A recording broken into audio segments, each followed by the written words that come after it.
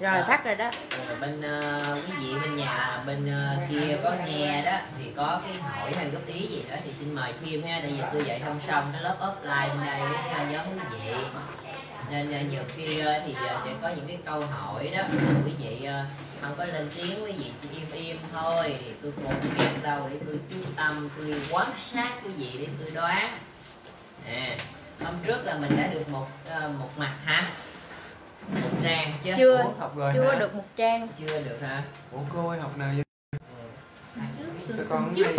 học rồi xa xưa lắm con lúc đó chưa có bốc lịch đó con hiểu không bây giờ mới bóc lịch đó À, ừ. hay. rồi cái tiết này đó là mình sẽ học cách tuần hiểu không tuần này mình học này xong rồi từ sau mình có học cái từ sau được cái học đó như vậy đó để quý vị đón theo dõi ha chương trình nó đắt đỏ đó nên như vậy đó chơi gì học một cách đó Không gì Ừ, vậy đó cho nên tôi dạy tôi cũng biết tới đâu nữa. Tôi không không có được. Rồi chúng ta tiếp ờ, cái hạng mục nội dung. Tôi nhớ tới đâu tôi sắp đại vô ha. Ở bên đây nè. Đâu, hay còn ở bên đây bên này bên kia này đọc hết rồi. Đây mà tới đây ha. Rồi. Rồi, nhớ nhớ dùm nghe để ý coi tới tôi tới đâu dùm nghe đừng nữa nhắc tôi Rồi Rồi, tôi đọc ở đây hầu hết các cái trường phái tâm lý học phát rồi đúng không? Trúc? Dạ, dạ. À, hầu hết các trường phái tâm lý học đều ít nhiều đề cập tới cái đặc thù cá nhân ở con người. Nhưng phải đến cuối thế kỷ 20 lĩnh vực này mới được thừa nhận như một ngành chính thức là tâm lý học khác biệt. Cùng với việc xác định và đo lường những nét nhân cách và những cái yếu tố làm nên trong sự thông minh các chuyên gia trong lĩnh vực à, đang phát triển này còn xem xét các khái niệm và đo lường tính chất bình thường và bất thường cố tìm hiểu xem những khác biệt cá nhân của chúng ta bao nhiêu phần là do sản phẩm từ môi trường bao nhiêu phần là kết quả của di truyền. Thì cái này là cái mà đến đến hiện đại này đó thì người ta vẫn đang nghiên cứu thôi. Tức là cái tầm ảnh hưởng của môi trường cho đến cái việc mà hình thành nên cái sự hiểu biết rồi trí thông minh uh, vân vân của cái con người đó, thì nó do yếu tố nào? Thì ta đang cố gắng để người ta nghiên cứu cái đó. Nhưng mà xin thưa là cái điều đó là bất khả tư nghị. Không có thể nào biết được nếu như mà họ đã gãy ngay cái cái lĩnh vực đầu tiên đó là quý vị là cái gì? Trước khi bước vào trong tâm học. Ờ đó là cái lĩnh vực triết học này á nó phải đi trước. Cái lĩnh vực triết học này nó nghiên cứu uh, mối quan hệ biện chứng giữa hai vấn đề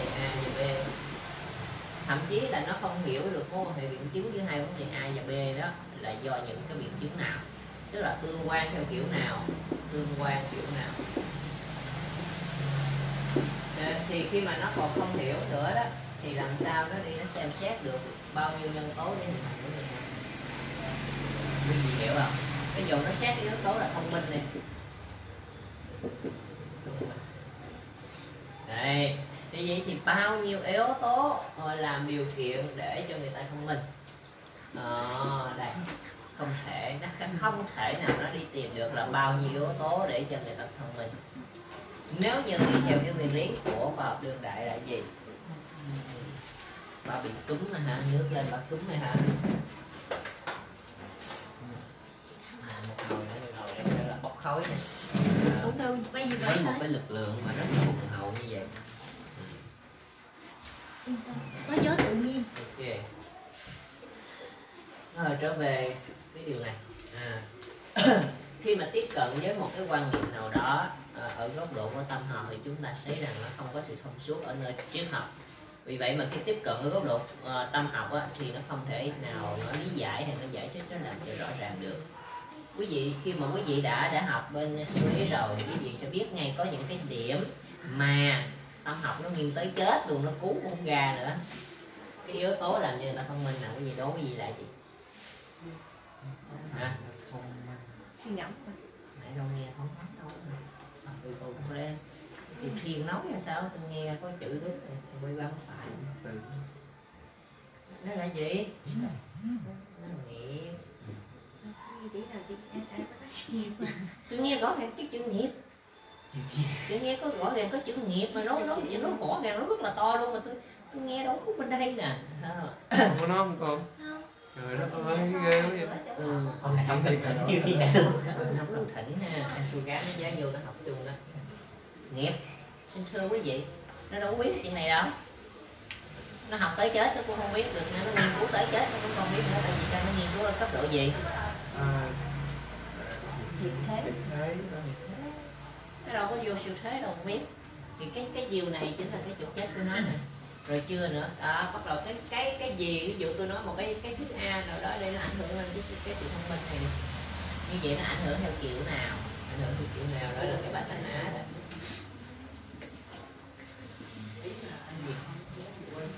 Rồi cái này nó lại cũng không biết nữa. Nó cũng không biết. Nhưng mà khi mà nó không biết những cái thứ này nè, thì làm sao nó mơ đi để mà nó nghiên cứu? Nó chỉ kết luận để ăn bí đỏ thông minh thôi nó chỉ kết luận gì thôi. Chứ làm được cái thực sự gì đâu. Như vậy nếu ăn bí đỏ thông minh thì chắc là rồi bí đỏ nó tuyệt chủng trên trái đất này luôn. Cái đùng đùng là ăn bí đỏ không? Xin thưa làm gì có chuyện đó. Ờ, bí đỏ thông minh thì không cần đi học vậy đó. Ê, thì tâm lý nó còn nhiều cái cốt tắc đó nó hạn chế. À, thì dĩ nhiên khi chúng ta tiếp cận mức độ xử lý chúng ta hiểu được hơn. Bởi vì sự hiểu đó đó cho nên chúng ta buông được những hết cần buông chúng ta chỉ giữ những cái cần giữ là cho đến khi nào chúng ta buông hết hay sao?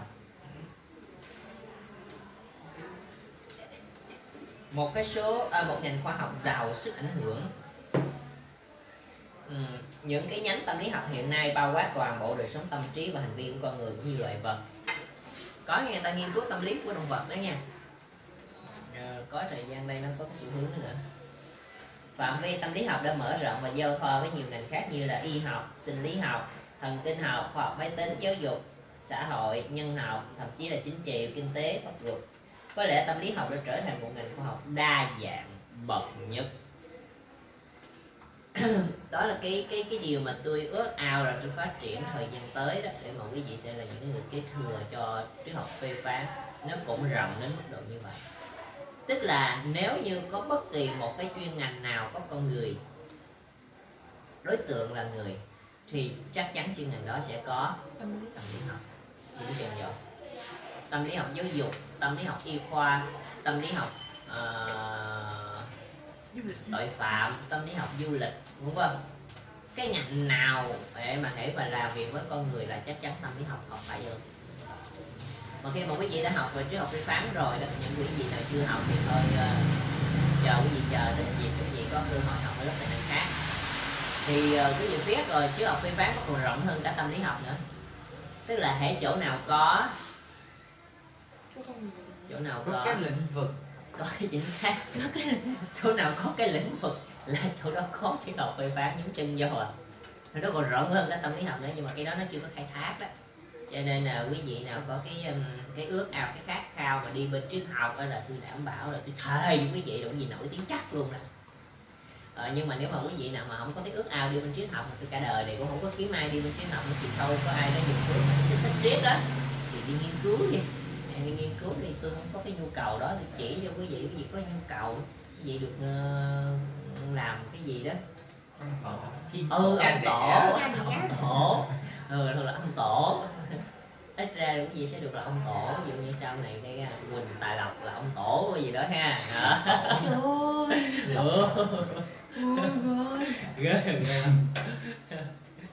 ít ra rồi mình à, gọi là gọi gì phi phận sự hay quan ti hoặc vũ trụ này là phi phận sự. Ờ đó.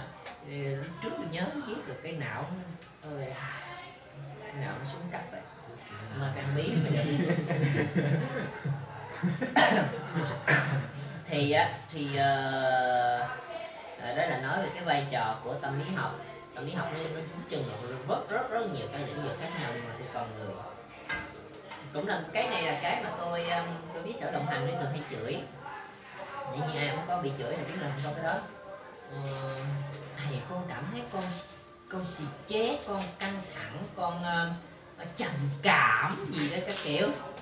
Ừ trời ơi mặc nhiên vậy đó tự nhiên nó thấy đứa nào mà nó ít nói đó cái y như rằng đó là tự nghĩ rằng mình trầm cảm thì đứa nào ít nói y như rằng mình phát đúng bo nghe nghe là, ôi, đứa này mà hỏi trầm cảm là cái quần gì cũng không biết trầm cảm là gì nữa. Mà thôi đó gặp là mình phá gặp mình phá cái chiều đó nó nói lên một cái điều gì? Tôi không phải tôi chơi với người đó rồi tôi đưa vô bài rồi cái sự ảnh hưởng của tâm lý nó ghê gớm gì có sự ảnh hưởng của tâm lý. Tức là gì? Tức là người ta rất là thích tâm lý. Người ta thích dùng tâm lý người ta thích gọi tên bằng các thuật ngữ tâm lý. Nhưng tâm lý gì nữa? Thường điều đáng buồn này vậy đó. À, do đó đó mà quý vị đừng có vội vàng kết luận là ờ, ở nước này nó cũng bơm bơm ma ma anh ba trợ hay nó kiểu gì đó. Vâng đừng có kết luận. Mà quý vị phải hiểu cái khái niệm mà quý vị chọn nó trước. Rồi quý vị mới kết luận được. À, giống như uh, tôi tiếp phụ huynh đó là tôi gặp là hầu như là uh, ông ông nào bà nào cũng vậy chứ. Cái con mình mà có cái gì đó mà không có vừa ý mình coi như là mình kết luận ngay liền nó bệnh à. Không không không nói gì nữa hết á. Ờ. Mà tôi không hiểu đi vì cái nguyên nhân lý do nào nguyên nhân sâu xa nào dẫn đến cái cái, cái cuộc chiến tranh kiểu đó. Để mà mà kết luận như thế đó. Ờ, Ở trên đây hồi chiều này nè hồi chiều này bé bé trung ấy chiều này bé trung này dẫn bé trung đi chùa. Vì mẹ không có sự an tâm để lo sợ bé trung bị khùng. Sao bị khùng mà bé bệnh viện hay đi chùa. Vấn đề là nằm ở đó. Vấn đề là nằm ở đó. Bé ăn không ngon bé ngủ không yên bé sợ bé trung bị khùng. Nói bé trung chưa khùng nữa mẹ đã bị điên rồi.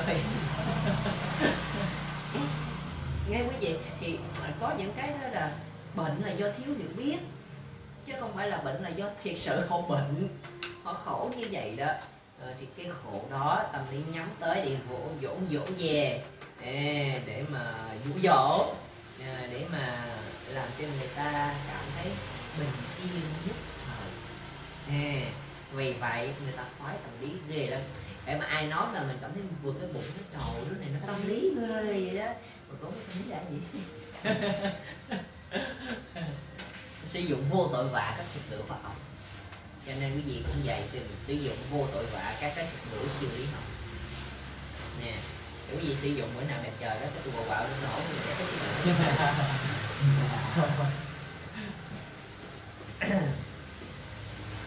tâm uh, lý học ha tiếp tục ảnh hưởng và chịu ảnh hưởng từ các ngành khoa học khác nhau như thần kinh học và di truyền học đặc biệt trong cuộc tranh luận tự nhiên đối chọi dưỡng dục tự nhiên đối chọi dưỡng dục bắt nguồn từ Rancid Gatton trong những cái thập niên 1870 vẫn tiếp tục cho tới ngày nay gần đây cái nhánh tâm lý học tiến hóa cũng giữ phần vào cuộc tranh luận. À tôi nói gì cái điều điều này nữa? Khi mà bất kỳ một cái gì đó thể mà nó phát triển lên nó là chắc chắn nó, nó kèm theo cái sự mầm móng của thúi đọa bất kỳ một cái gì tôi nói bất kỳ một cái gì mà thể mà nó phát triển là nó kèm theo mầm móng của sự thối đọa cũng giống như vậy đó tâm lý học nó phát xuất ngay từ ban đầu nó là một cái nhu cầu. Nó là một nhu cầu cấp thiết trong cái việc nghiên cứu để tìm hiểu về về cái nội tâm của chính mình về cái suy nghĩ về cái thế giới bên trong mà người ta không sờ mó được chạm được. Đó đó là cái ban đầu nhưng mà sau khi người ta đi vào trong đó người ta khám phá rồi cái có những cái người ta không biết. Cái người ta sẽ nghĩ rằng tôi nghĩ rằng thế nào? Ra một học thuyết ra một chuyên ngành và ông khác tôi nghĩ rằng chuyên ngành khác. Ông khác nữa, tôi nghĩ rằng lại là chuyên ngành nữa. Mà xin thưa quý vị, tất cả những cái chuyên ngành thuộc về khoa học xã hội đó, phần lớn không kiểm tra được chính đúng đắn luôn. Rồi ai kiểm tra được cái lý thuyết của Hegel này đúng? Đứa nào giỏi ra kiểm tra? Trong khi đó, nó cũng dựa trên cái thuyết của nó rồi gì nó dám kiểm tra. Chưa hiểu không? Ví dụ ông cam đi ông cam nó chia nhà thờ sai. Ông chia nhà thờ bậy bạ ông đúng ông phát triển. Thì ông dựa trên cái thuyết của ông để ông chê. Thì nhà thờ sẽ dựa trên cái thuyết của nhà thờ để chê đấy ông. Quề. À, vậy đó quề. Cho nên cho nên đó quý vị trong cái quá trình phát triển của tâm lý học đó, khi mà nó phát triển lên tới một mức á, thì bắt đầu nó thối đi dần dần nó lại cũng giống như vậy với tất cả các lĩnh vực khác. Do đó mà Ờ, nhiều khi cũng ờ, rất là dè dặt trước cái uh, sự phát triển ồ ạt của các bạn có tài năng nguy cơ thay đổi nó sẽ có mầm móng do đó vì sao quý vị biết không? Cái gì mà nó nhiều quá thì sẽ mất. Mất. Mất. Mất kiểm soát. Mất kiểm soát mất giá tăng giá với thầy. Xích xích xích cái ghế lên rồi hả cười không thôi chị chút chiếc luôn á. Ngứa cái này. Đó thì á, quý vị thấy là bất kỳ một cái gì mà nó phát triển này nó cũng kèm theo cái mầm móng của nó hết trơn á. nó nguy hiểm lắm nó nguy hiểm cực kỳ. Nếu ví dụ tình cảm gì đó nó phát triển đến một mức độ nào đó thì sao? Bùng ra thì dính mắt chứ sao? Bùng Ờ, nó dính mắt vậy nó bung ra mới sợ á. ví dụ nè tôi đây. Trong gia đình cũng vậy nữa ví dụ như mẹ thương con đi. Người mẹ mà thương người con một cách bình thường á thì không có chuyện gì xảy ra hết trơn á. À, chỗ ướt mẹ nằm chỗ ráo con lăn. À, nhưng mà người mẹ thương con đến một mức độ muốn chiếm đoạt đứa con nó luôn.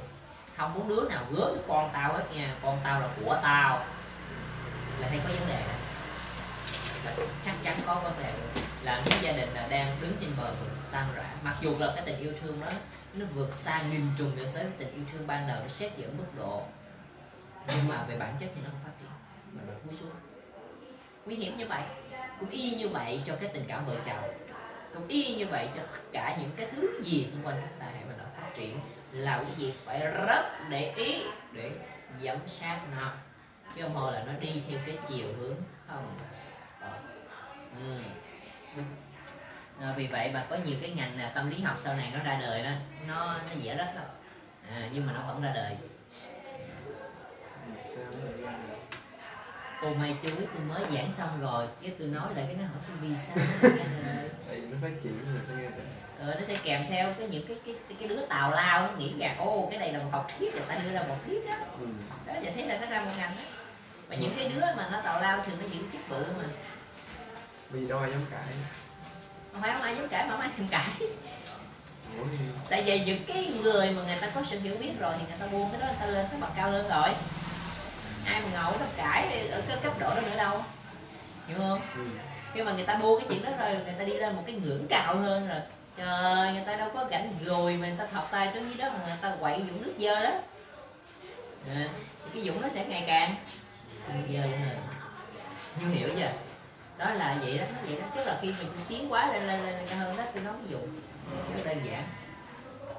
Khi mà quý vị học tài năng quý vị có sự hiểu biết nhiều hơn. Quý vị thấy chuyện thị phi, quý vị có chọc cái miệng nhơ không cái mà nếu mà hồi xưa của quý vị đó, quý vị sẽ nói là, trời, sao mày biết mà mày cứ cắt đi cái chuyện vô như vậy? Mình để cái chuyện nó xảy ra như vậy đó. Là cái đầu óc của những cái đứa đang là lúc nó phàm phu á. Vô hiểu không? Nhưng mà khi mà du đã lên một cái ngưỡng khác rồi đó, thì du nhìn cái chuyện tào lao đó, trời trời, mất cái gì mà tao chọn cái mỏ đó vô cho nó chết vậy? Ta rút ra ta chạy không kịp nữa, chứ đó mình tao chọn vô. Thì cái dũng nước đó nó ngày càng dơ hơn thôi chứ không bao giờ nó mà những cái người người ta rút rút cao lên, đó là lý do sao quý vị mà tìm kiếm bậc trí trong đời đỏ của mắt mỏi mòn xin dấu không người ta né hết rồi. Quý vị mà đi trục đầu vô những cái chỗ mà thị phi lúc đầu vô những cái chỗ mà nó xàm xi măng đó đừng có mơ gặp bậc trí. Gặp mà ta nói là chó khóc rồi đó rồi chó ghẻ chó cùi rồi đó nhiều lắm. Nó chỉ là nó đứng bên đây nó ngóng trong kia sủa gâu gâu gâu gâu gâu gâu rồi cho từ sáng nó chiều đó tại vì sao? Lấy chuyện thiên hạ làm chuyện của mình nữa bạn không mà ở mà ta nói nha ta lên tới ờ, cái cái đám tiệc nhất là đám tiệc. Đó cho nên là cậu tôi nói tôi, tôi không bao giờ không bao giờ thời không bao giờ nó xuất hiện cái chỗ đó. Nên là vậy quý vị mà mình đi đáo quý vị biết liền chuyện thiên hạ đầy trên bàn. Ăn chuyện thiên hạ. Trời con nhỏ đó heo nhỏ đó nó lấy chồng nó chỗ đó chỗ đó chỗ kia kia kia nọ heo. Không biết có hạnh phúc trời ơi, chồng nó thế này thế kia hả? Bà bạn chị thiên hạ bạn chị thiên hạ vui đó. Nhỏ nó ngồi bàn cái bên nó chỉ có tán rồi quá hết rồi xong bây giờ cái đám đó trở thành đám ma. Vui. Cái gì ghê vậy Còn vui. Mà đâu thiếu thực tế để chứ nhiều lắm quý vị nhiều lắm. Vậy đó vậy đó. Mà hãy cái đám nào mà ở dưới quê ha đó là rượu vào lời ra đó. À, tử nhập tâm như kỳ nhập lân gì đó nha rồi bắt đầu á gì đó lừa lơm bên đó nó nói thiên vô bất phật luôn nha thì thôi đừng có có gớm vô những cái chuyện như vậy. Mình né ra đi mà mình né ra thì sao? Thì cái chỗ đó nó thú quắc luôn cho nên đó phải để ý cái chuyện đó. Nó là cái kinh nghiệm sống thôi. À, ta dạy ta tìm nơi vắng vẻ người khôn người đến chúng không sao? À. nữa có học bài đó. Ba gì trong lớp là 10 trong lớp 10 có học gì? Đọc trước đi mày hơi lớp 10 á. có đọc đâu.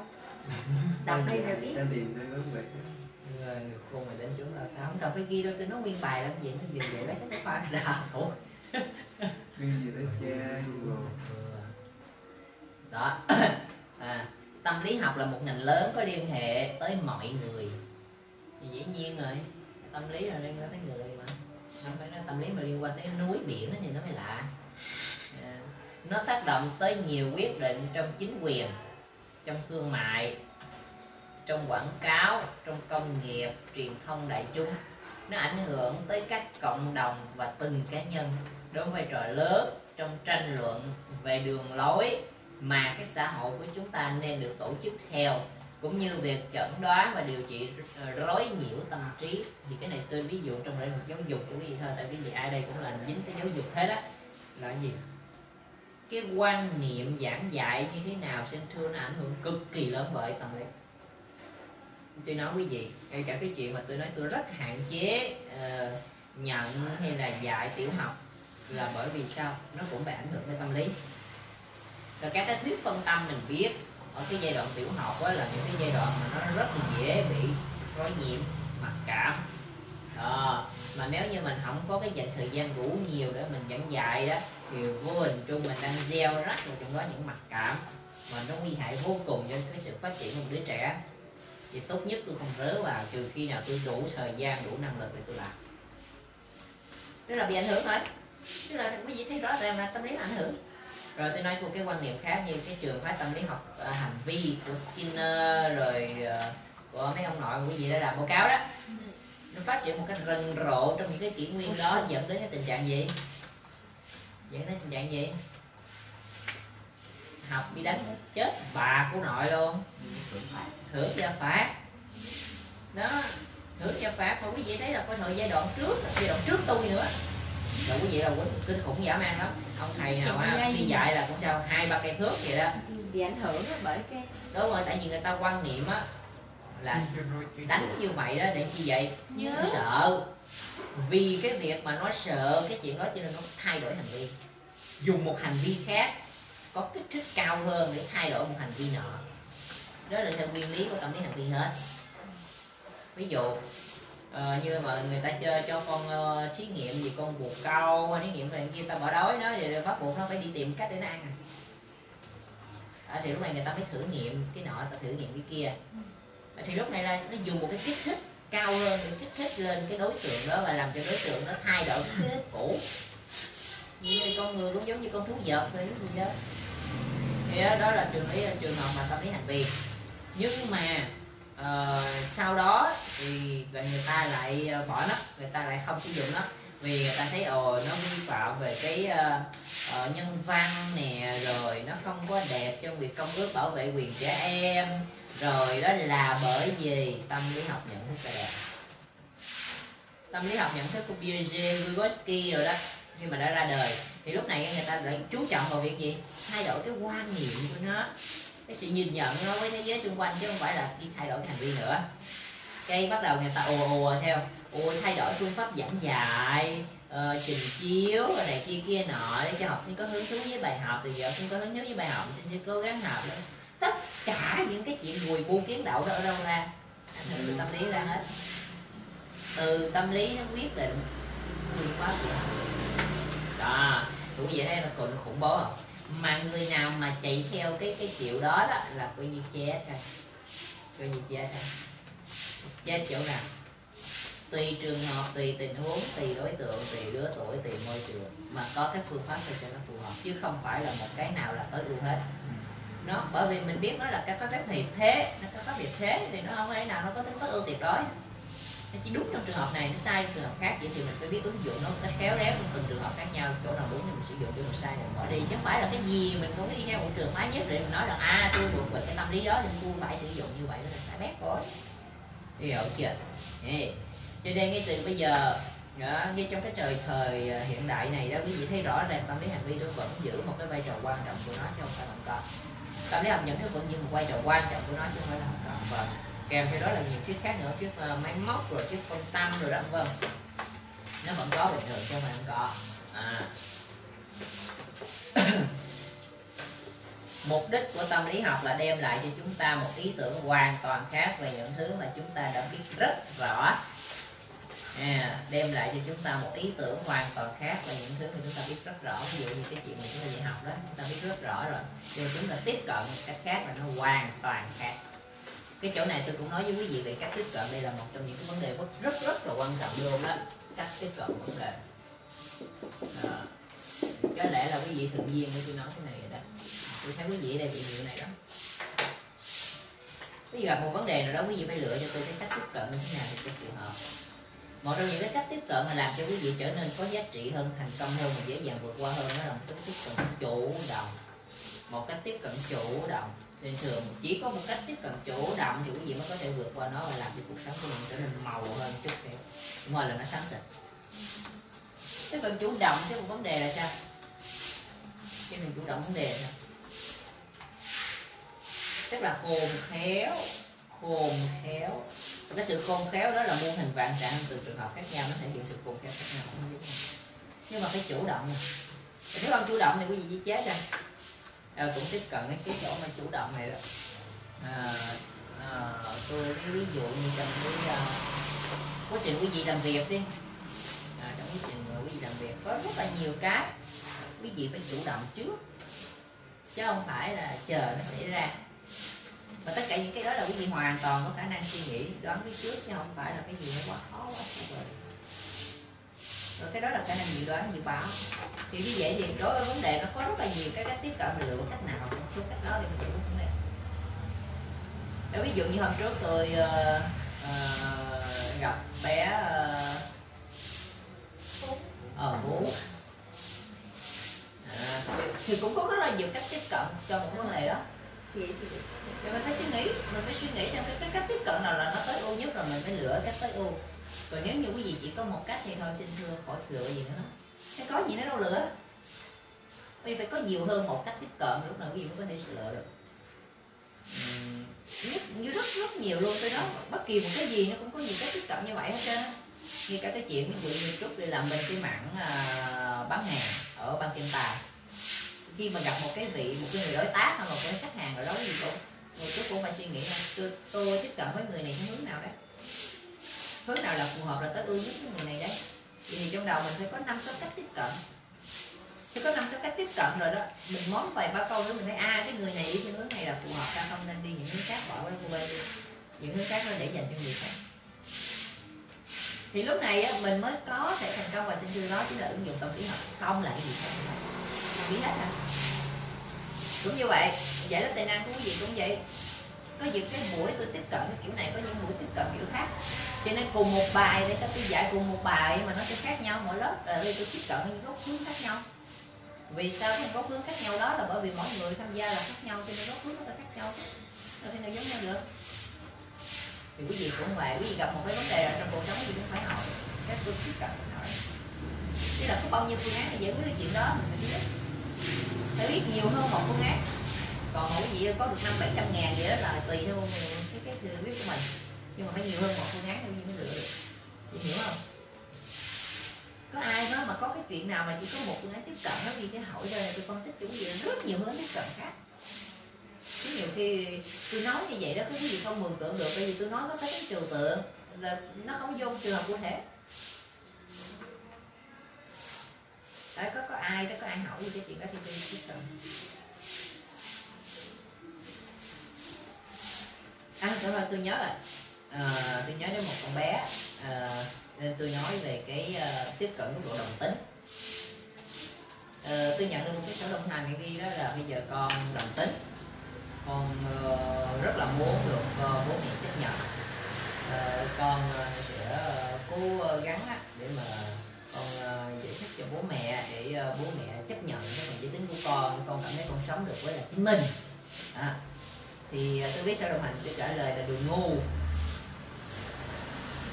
đó là phải hướng tiếp cận đúng. Chị sẽ chết theo quý vị. Trong vai trò là một cái người ờ, uh, giáo bổ gì đồng hành với cái trường hợp thì quý vị sẽ, sẽ giải quyết trường hợp đó là sao? Quý vị cho chúng tôi nhiều hơn một cách tiếp cận nha. Các bạn đó đồng tính bạn quyết định á tiếp cận theo cái hướng là giải thích cho bố mẹ để bố mẹ đồng ý với mình. Theo quý vị xác suất phần trăm thành công là bao nhiêu? Ừ, âm một phần trăm luôn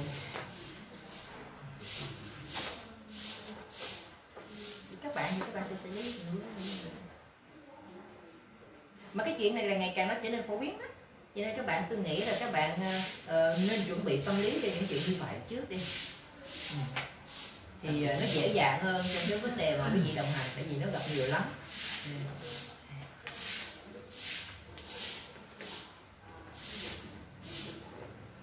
đến lúc nào đó tôi giao nó tài năng này cho quý vị mà dạy đó là coi như là cái chuyện mà viết sổ nè hỏi nè cái kia nọ đó là về cho quý vị cười có cười mình dạy sao mình gửi sổ cho ông trả lời đừng có cười là quý vị sẽ phải xử lý những cái tình huống kiểu như vậy đó.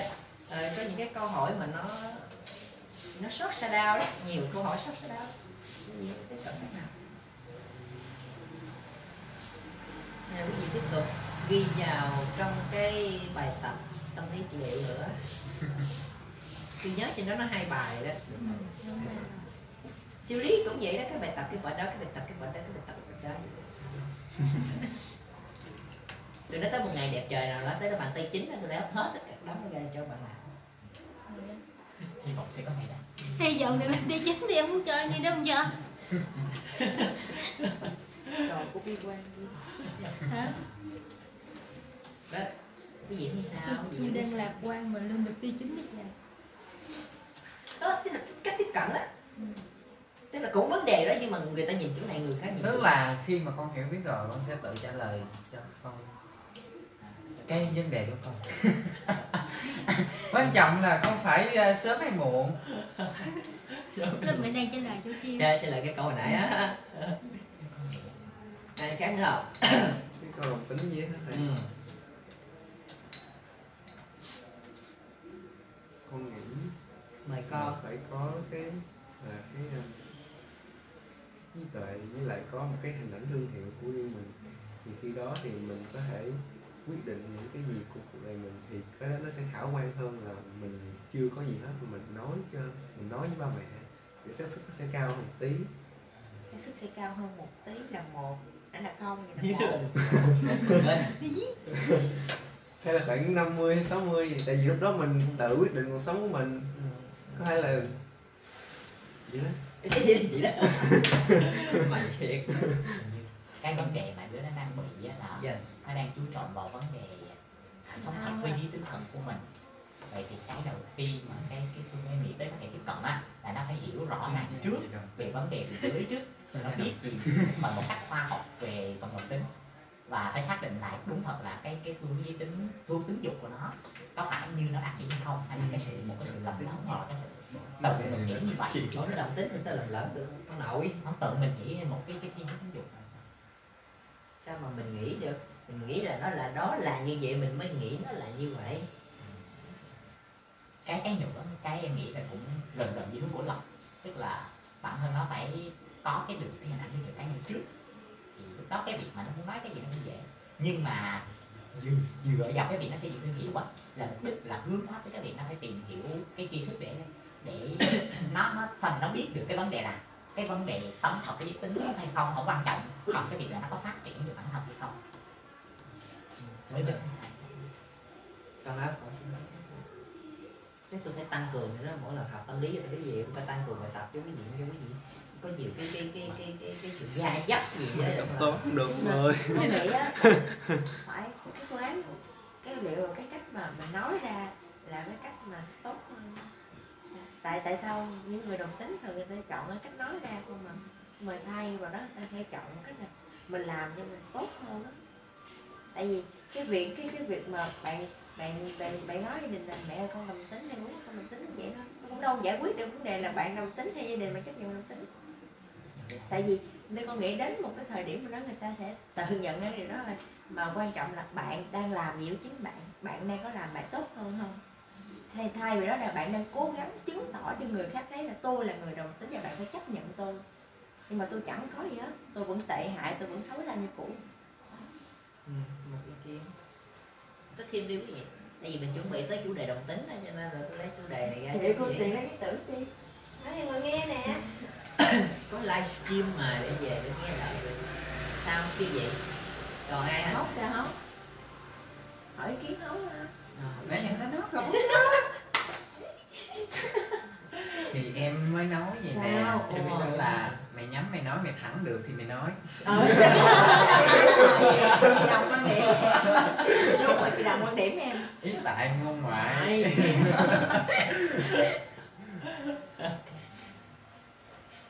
cũng hay. Mày sao đây mày đã câu mày làm cái gì? Cô tú ơi nhiều khi cái đó nằm trong nhóm cô tú á. Cô tú cho ý kiến đây. Cố lên rồi Cố lên. khó khăn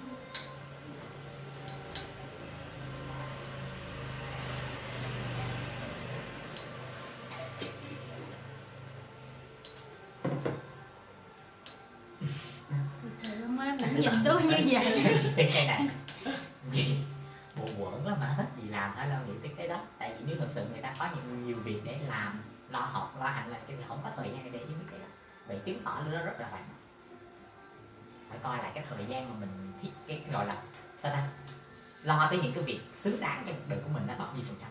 Và bạn còn thời gian để bạn nghĩ đến mình cái việc nhắm tới cái đối tượng đó là ai nữa? Ví dụ như thầy Dũng nói là mấy đứa T1 thì những cái Nhi nói nó không phù hợp với những đối tượng đó. Nếu mà ở T1 á, thì thấy cái góc nhìn mình mình nên tương tác với nó trước- tiên là tâm lý trước cái đã. Dỗ ngọt trước cái đã. Mình biết là nó nó muốn gì ví dụ như cái việc hiện tại nó muốn nói cái chuyện này muốn để cho người khác biết là nó như vậy nó muốn khẳng định nó là như vậy rồi cho người ta chấp nhận nó giống như trước nó Như vậy thì cái mong muốn đó của nó mình bằng một cái cách nào đó để cho tại vì mình biết là khi mà bây giờ nó nói ra là cái kết quả nó không có cái gì hết vậy thì nó dùng một cách khác để cho nó nó trì hoãn cái việc đó xong rồi từ từ trong cái khoảng thời gian đó nó hướng nó tới những cái việc khác Thì tức cái là cách hồi đấy nãy giờ tôi cho quý vị trả lời đó để tôi nhìn qua xem là cái xu hướng giải quyết vấn đề của quý vị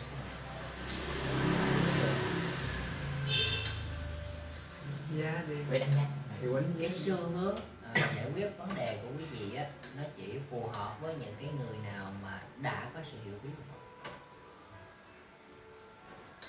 cho nên là cái xu hướng giải quyết tâm lý của quý vị nó sẽ rất không hợp với những người bình thường. Mà những người bình thường xung quanh chúng ta thì nhiều lắm. Mình nhớ là chúng ta đang học tâm lý. Chúng ta đang học tâm lý. Mà không phải học suy lý chúng ta đang học tâm lý đúng không chị? một cái cách khác mà mình có thể ờ, mình làm mình nói như thế nào đó nhưng mà tại tại tại sao các bạn nó nghĩ là cái thời điểm này là cái thời điểm thích hợp để nói về cái điều đó? Mà không phải là cái thời điểm khác. Tại vì bạn đang yên đang làm mà đang sống gia đình bạn mà nói như vậy thì bạn có nghĩ đến cái hậu quả như thế nào không? Mà bạn có thể thấy được từ những người xung quanh bạn. Thay vì đó, chúng ta nên có một cái cục mốc nào đó, hoặc là ví dụ bạn đang có một sự kiện nó quan trọng á, và hoặc là mình có một cái thành tựu đó, và mình nhân cái điều đó, mình chia sẻ một cách rất là chân thành với gia đình mình hoặc là gì đó. Thì kiểu là mình con con chỉ suy nghĩ tới đó con con mà con gì đó là con thấy nó rối rối. Đúng rồi, con chỉ suy nghĩ gì tới đó thôi. giờ tại đó mà mình nói ra giống như được không chứ không được. Không con chỉ suy nghĩ tới đó thôi. Quý vị nghe online, quý vị có ý kiến gì thì ờ, xin cho ý kiến nha. Vị có thể mở mic nói hoặc là có thể đánh lên. Ê, vậy nếu như muốn hỏi nó nó như thế này ờ, hỏi nó nhìn nhận như thế nào về vấn đề đồng đồng tính? Tại vì nếu như mà giả sử nó nó là yêu dị tính bình thường thì nó có cần phải đi công khai hay không? Nó cần phải đòi đòi người ta chấp nhận hay không? Thì nếu như mà nó nó nói là nếu như như con không phải đồng tính thì thì con không cần phải đòi công khai vậy. Và bản thân nó cũng nghĩ là đồng tính là cái chuyện nó nó rất là kỳ dị nó quên không phải nó kỳ dị thì nó nó bị sáng mặt mình chết. rồi nó kỳ vậy thì nó hơi kỳ thì cục thì nghĩ là là cái việc mà đồng tính là nó không có được ờ, nó không có được bình thường thì mình mới cần phải đi công đi công đòi quyền công nhận nó. Và nếu như bản thân nó mà còn nghĩ như vậy thì người trong gia đình nó thì như thế nào? Thì cũng đâu thể nào đòi hỏi người trong gia đình nó nghĩ khác đi. Vậy khi nào mà nó nghĩ khác hơn thì người trong gia đình nó nghĩ khác nữa.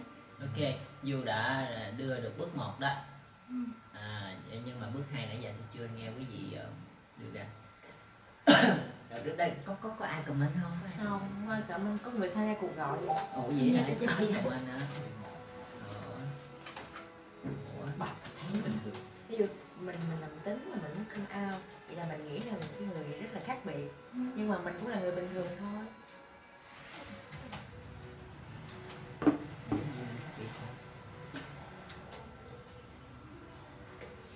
Hey.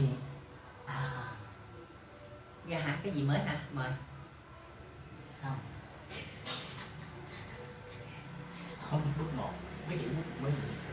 bước đầu tiên khi mà quý vị khi mà quý vị ra làm tương tác tâm lý thì nó khác với quý vị đi dạy.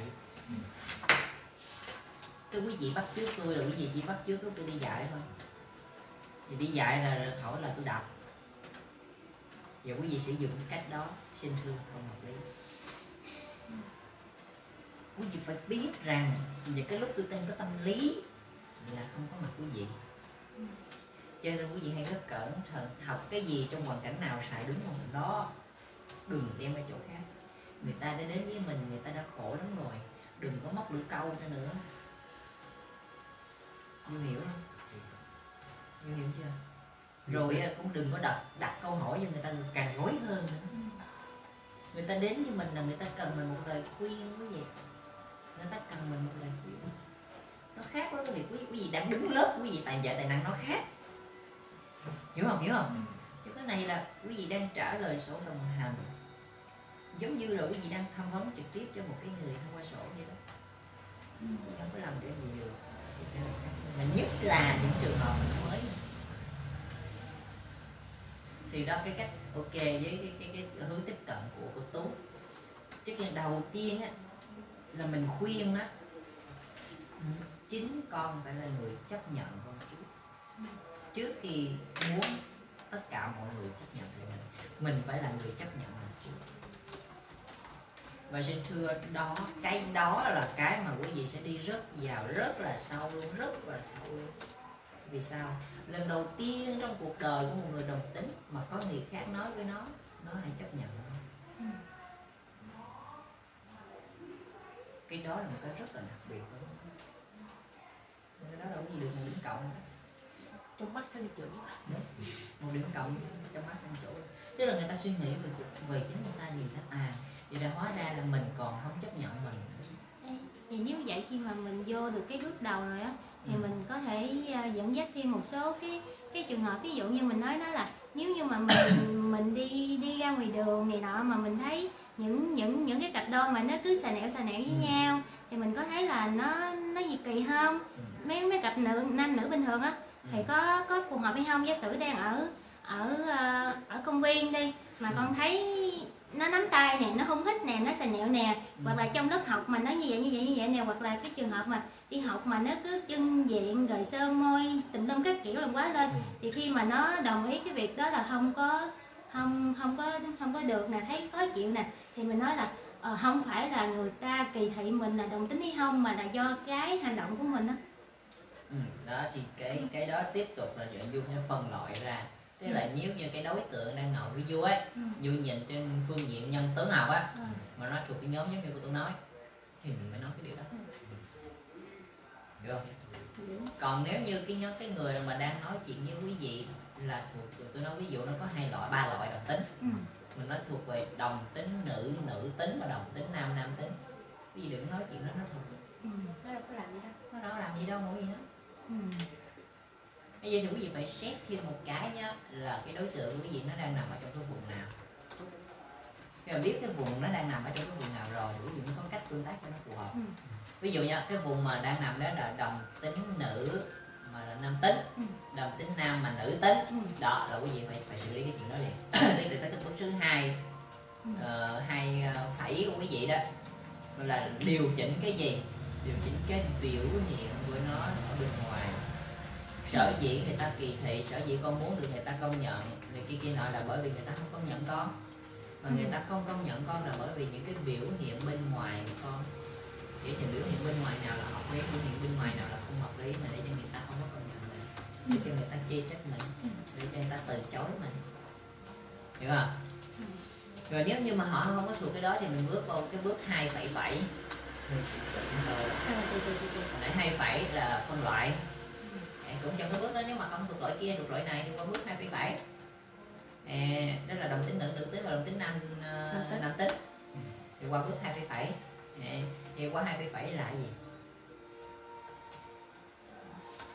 Sau khi nó đã chấp nhận. Sư làm gì với cái?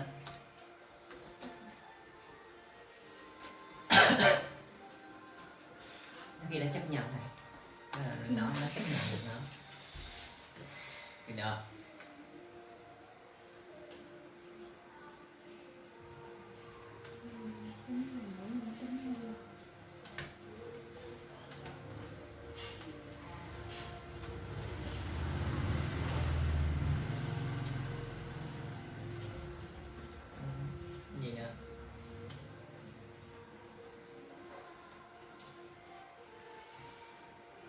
Ta đến với mình để ta hỏi gì? Ý kiến à, vậy gì? Đồng tính đâu vậy? Hỏi vậy hỏi gì? Cái đề nó hỏi gì? Muốn bày tỏ với gia đình. Ừ. Người ta hỏi mình không bày tỏ với gia đình. Thì lúc này nãy giờ là mình nguyên khúc đầu là mình đi lạc đề. Hiểu không? Đang chi mình đánh vòng. Bây giờ đi vô vấn đề. Vô vấn đề nhưng mà vô vấn đề một cách không vô vấn đề biết biết tức là sao? Mình sẽ nói cái cách để đương sự của mình đó tức là thân chủ của mình đó có thể làm được cái điều mà họ muốn nhưng họ không làm được.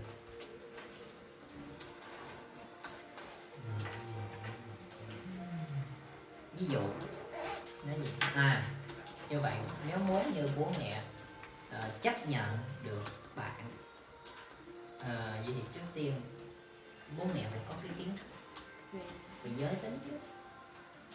Chứ giờ bố mẹ không có kiến thức về giới tính thì bố mẹ đâu có chấp nhận. Được mà nếu như bố mẹ chấp nhận vì thương bạn thì thấy đó một lúc đẹp trời đó rượu vào lời ra đó nó sẽ môi chuyện này ra nó nữa. Vậy thì cái quan trọng là bạn phải làm sao để bố mẹ có kiến thức được về giới tính chứ. Vậy thì bạn cần có một cái lộ trình để làm chuyện đó chứ không phải là ờ, gặp nhau ngày hôm nay rồi đi về cái bố mẹ bạn biết được chuyện này. Không phải. Vậy thì bạn chuẩn bị một cái lộ trình như thế nào để bố mẹ bạn có thể update được những cái tri thức cơ bản về giới? Bạn có làm điều đó chưa? Nếu chưa lên kế hoạch làm điều đó. Vì nếu như bạn chưa có thể nào lên được cái kế hoạch thì ờ, bạn có thể hỏi ở những lần kế tiếp. Về cái kế hoạch đó. Hiểu không? Đó, đây mới là một bước thôi. Tức là bố mẹ bạn đã có tri thức về ờ, giới tính rồi. Nhưng mà cái đó nó chưa đủ. Chưa đủ để Ờ, bố mẹ, thuyết phục bố mẹ bạn. Vì bạn cần phải thêm nữa, thêm cái gì nữa? Thêm gì nữa? Thêm gì nữa? Nó rất là quen ta phải tạo niềm tin ờ nó rất là quen, nó nói là gì? Sự xây sự tự lập. Tiếp theo là bạn phải tự lập được. Vì sao bạn cần phải tự lập vậy? Vì sự tự lập này á, nó giúp ích cho bạn rất là nhiều nếu như ngay cả mà bạn đã trang bị cho bố mẹ bạn tri thức về giới rồi mà đâu phải bố mẹ nào cũng dễ đâu. Nhiều khi bố mẹ rồi bạn rơi vào trạng là cực kỳ cuối cùng khi đã đã hiểu rồi vẫn không chấp nhận được với cái tình yêu thương con nó rất lớn và mong muốn con giống như cái điều mình mong muốn. Thì bạn cần phải trang bị cho mình một sự tự lập đó là một cái trường hợp bất khả kháng nhưng cần thiết cho bạn. Rồi đã bắt đầu cái gì đá đi qua bài tự lập rồi. Vô kiến thức liền. Vô kiến thức tài năng rồi đó các bạn thấy tài năng toàn là công cụ để là lớp vấn đề mấy mà. tự lập lớp nào thứ một. Một. Cuối cái một. Rồi quên Rồi. nó quên rồi. Tôi quên đi rồi xuống đi xuống đi xuống đi xuống chết rồi nghe tôi nghe quá vậy đó bắt đầu đá qua sự tự lập thì lúc này quý vị thấy không quý vị bày ra cho nó bao nhiêu chuyện trên đời để nó làm mà những chuyện đúng tốt chân chánh hợp lý thì nó đâu có cơ hội nó rơi vào bất thiện đâu. Nó không biết chuyện đó dù hiểu rồi nó không biết chuyện đó nhưng mà cái chuyện này chúng ta vẽ một con đường khác. Ví dụ con đường kia là đi xuống tuyệt lộ. Đó đi là cùng đường đi là tới địa ngục. Không mình mình đang xuất hiện với cuộc đời nó mình phải vẽ qua một con đường khác nó đi. Gì để tự nhiên có mình đó thôi đi nhanh đi con cho xuống dưới đó luôn cho rồi rồi gọi tiêu. Chưa đủ sự đồng cảm đó thì như vậy là quý vị phải rất là linh hoạt trong cái chuyện mà lái lèo lái luồn lách. À, như là tham gia giao thông Việt Nam vậy đó ờ, phải lấy cái lụa để lách qua dẫn nó ra một cái con đường khác. Thì lúc này vì nó đi trên một con đường khác rồi cho nên kết quả của nó sẽ tốt đẹp. Vì nó đi trên cái con đường tự lập đi trên con đường để muốn giúp làm cho bố mẹ thấu hiểu. Để quý vị thấy đó để mà đi trên con đường để làm cho bố mẹ mà thấu hiểu được cái cái tri thức về giới thì quý vị thấy nó buông ra một vùng trời. Vậy thì quý vị phải có kiến thức về tâm lý mới có thể tiếp xúc được với bố mẹ. Là qua các cái bổ trợ đó. Ừ. Dư hiểu không? Dư hiểu không? bây giờ muốn làm gì đó gì phải học chứ. Bây giờ không học sao đi biết được. Ủa cái gì không phải đi học cái sức tự giới không? Phải học đi sức hỗ trợ để mà có gì có được cái khả năng tương tác với người khác mà nói sao ta chấp nhận mình nữa. Vậy nào có gì cuối cùng là cái gì hết? Không mà chỉ có chuyện là mày đi học rồi đó. Không có chuyện gì khác nữa. Đó nhưng mà mình đâu có nói đâu. Nhưng mà cuối cùng là nó ra vậy đó. Thì đó là cái nghệ của mình. Vàng dễ sợ. Chắc là mười học hết rồi chất vàng 11 của tâm lý. Đó cho nên trước một cái vấn đề đó cái cách tiếp cận của gì quan trọng lắm. Cái cách cách tiếp cận của gì mà nó đã không tới ưu rồi đó thì nó sẽ dẫn đến cái cái kết quả nó cũng không tới ưu ừ, nhớ nha nhớ nha cho nên phải hết sức cẩn thận.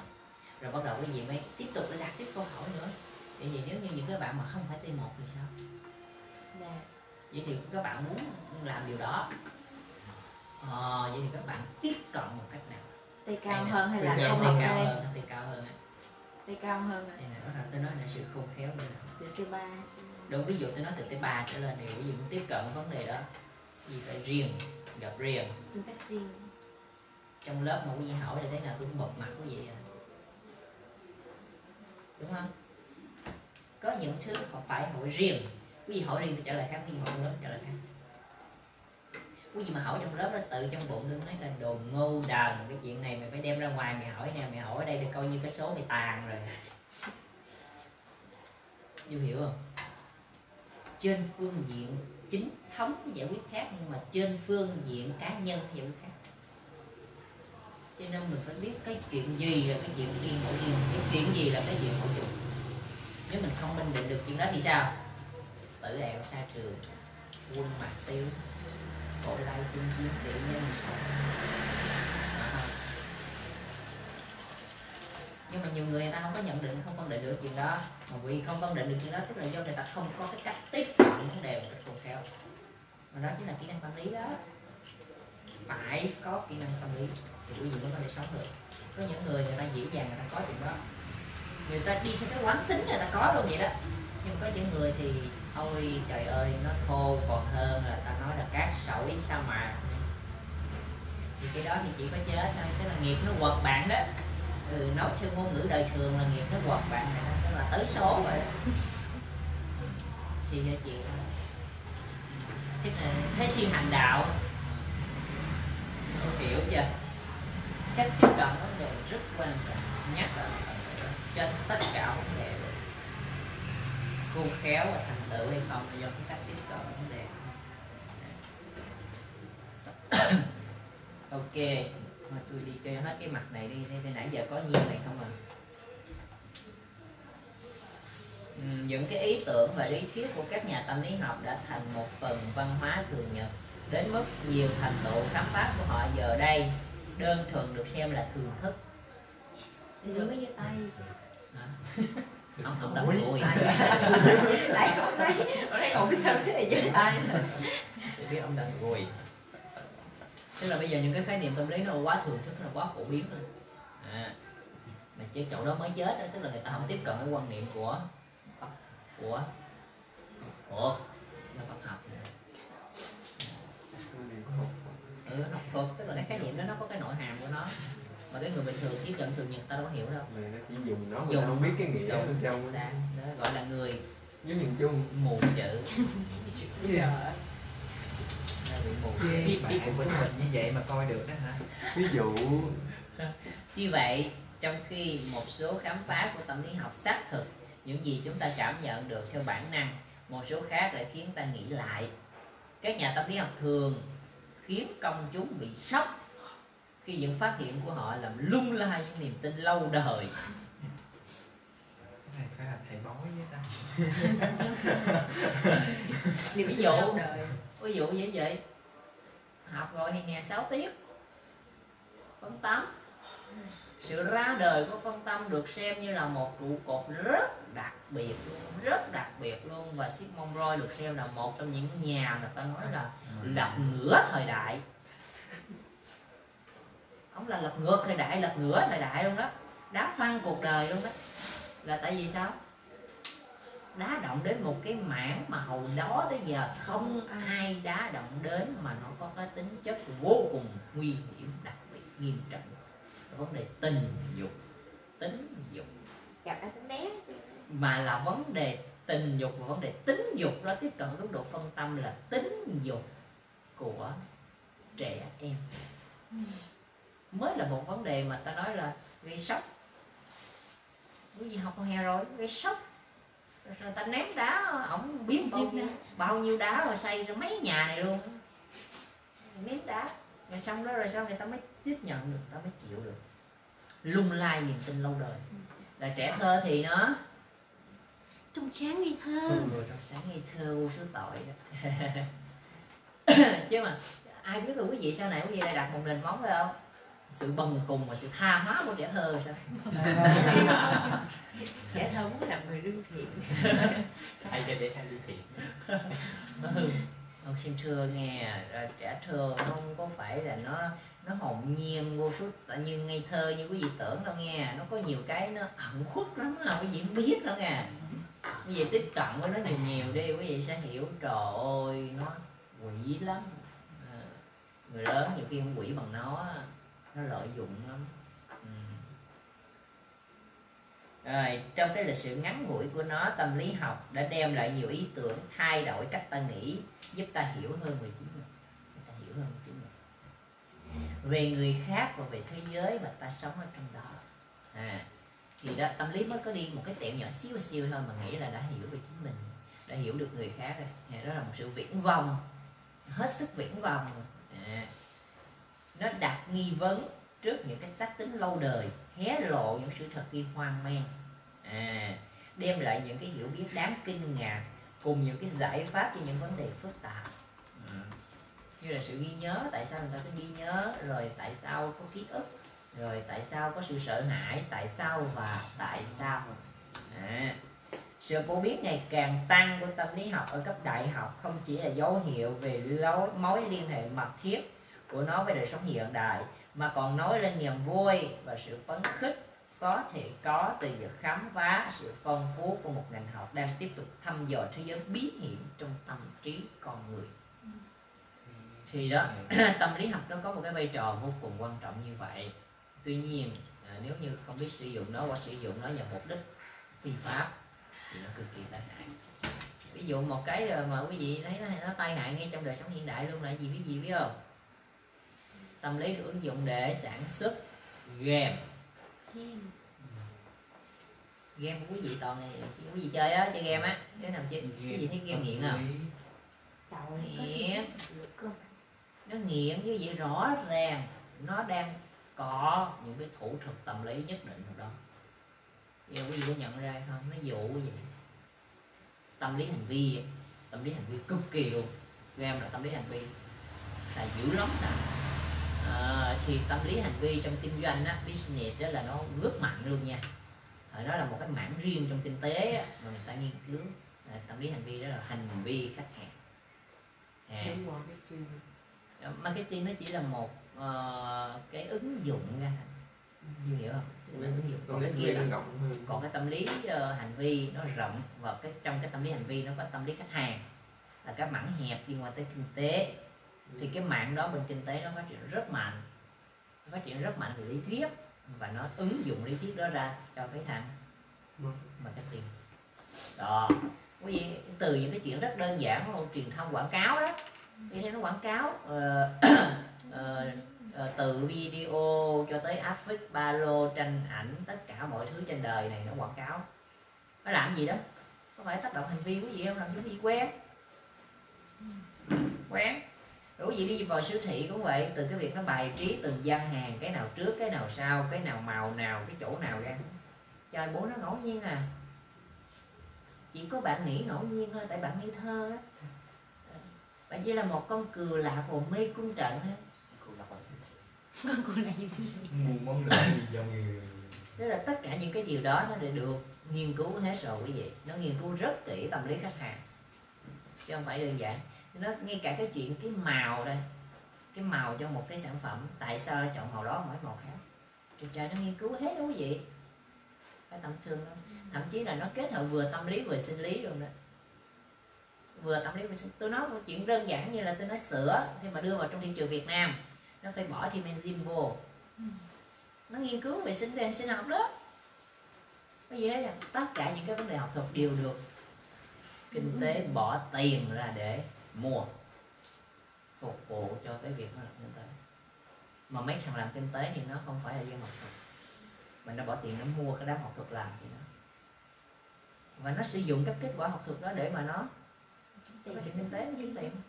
Thì nếu như mà nó ác thì chết. Cả bài à, cho nên quý vị mới nghe mà hôm nay thì gian gần đây là mấy cái công ty mà nó bán dược liệu mà nó bán thuốc ung thư giả đó có nghe không trời sao quý vị không tin biết giống gì chưa đâu vậy? lạc lời thông tin. Sao mù mịt quá vậy? Cái thông tin gì trên đời sao tôi không biết hết trơn không có gì không biết. Đó thì ông biết ông vô cởi tôi nghe. Hay đó. Trời ơi gì mà biết cái quý vị có có hưởng ứng là có cái niềm vui để ta kể. Cái gì cũng biết chứ nó không có kể. Cái gì đâu vậy? Nè ông kể đi cái tụi tôi hưởng ứng ông vui. cười quá. À, quý vị cố gắng làm sao á nè nghe giùm tôi thật sự đi Ờ, đài VOA lúc nào cũng có hết trơn á. Cứ ngày hai ngày nó có clip hai ngày hai ngày có clip cái gì làm cái gì bác nó bỏ nó nghe thông tin thời sự. Nó tóm được thông tin Việt Nam quốc tế luôn. Nó rất đầy đủ rất chính xác. À, nó giúp ích cho quý vị nhiều trong nắm bắt thông tin lắm. Tại vì chắc là tại vì tôi nhiều brand đó cho nên là à, họ chia sẻ nhiều lắm cho nên là lướt cái là tôi thấy lướt tôi thấy rồi bốn ngàn chứ. Đó, thì uh, thông tin đó là cần đó quý vị à, những cái đó là cái mà nó nó triển cho đời sống của mình. Ung thư bị bắt rồi đó. Ừ, cái nhóm bán thuốc giả. Thuốc ung thư vậy ừ. lên lắm. Quý vị lên ờ, kỳ án. Đây đó là hết một cái ờ, cái um, trang 13 Điều ở trang 13 hôm trước chúng ta cù đó hôm nay đi hết trang 13 rồi đó. Vui lên đi nha. Những cội rễ triết học tâm lý học trên tiến trình hình thành. Vì sao mình học là chúng ta buổi sau. Thời chúng ta dẫn ra chúng ta cũng vẫn còn nằm trong phòng dẫn nhập thôi. Chúng ta chưa có vô rồi bằng cách một tuần mới được học một lần. Hai tuần mới được không một tuần đó bỏ tuần rồi tuần. Đúng, cách một tuần. Các tuần tuần. Ừ. tháng học hai lần á thì đâu tuần. phải hai tuần học một lần nữa.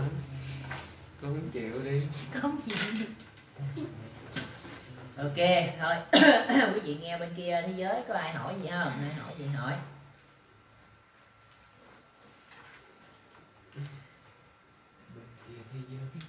Vậy ghê nhà bên Con cái thế nãy gì vậy chú đang quay độ mà Ê, quý vị nào không có cái ý kiến nào nữa thì thôi. Hôm nay mình ờ, tạm ờ, nghỉ